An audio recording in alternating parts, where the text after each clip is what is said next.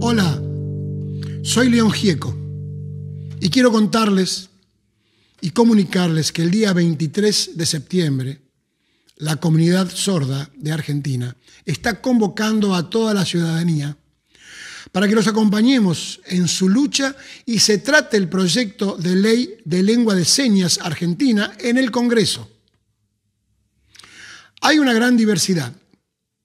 Por ejemplo, hay personas sordas de familias sordas. Pero también hay familias oyentes con hijos sordos y familias sordas con hijos oyentes.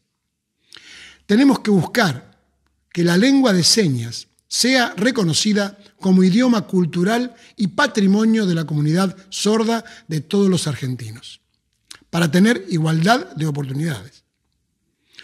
Por una ley de lengua de señas argentina ya, todos al Congreso el día 23 de septiembre a las 14 horas.